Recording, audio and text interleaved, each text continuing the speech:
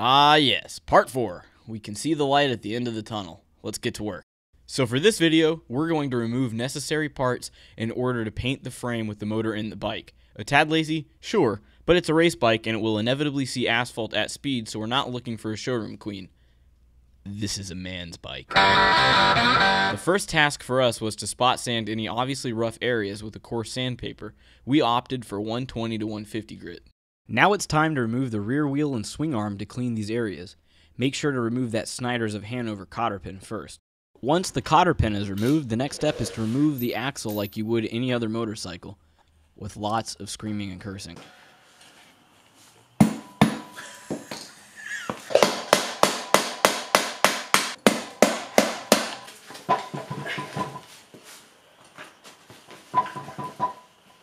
Years of sitting outside and improper maintenance made this axle a pain in the beehole, but with some persistence, it pops out like a Taco Bell turd.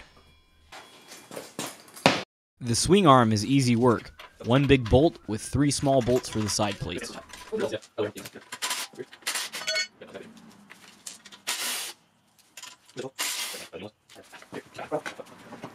With the swing arm out, we can start sanding the rear of the frame and the swing arm separately. Same business as the spot sanding, 120 to 150 grit, whatever gets the job done for you.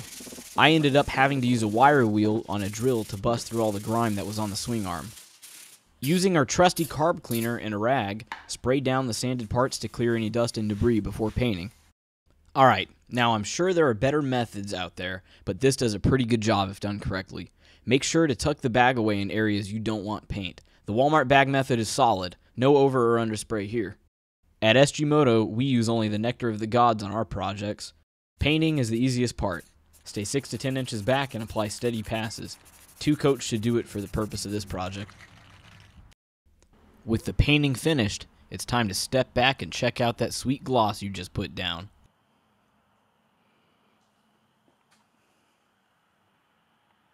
Damn, son, where'd you find this?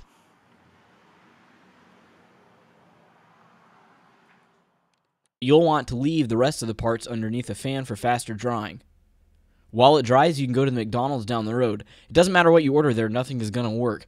Can I have a caramel mocha, whatever the fuck? nah, machine broke. Okay, can I have a 10 piece? Nah, machine break. Then, when you're back home, your parts will be dry. Time to reassemble. Remember when McDonald's had that creepy ass clown as a mascot? Ugh. Be sure to clean all the grime off those axles that were so difficult to get out the first time. Reassembly is just as easy as disassembly.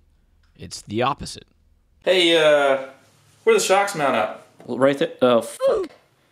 Oh, well. After fixing our mistake with the swing arm, it's as easy as bolting everything back up.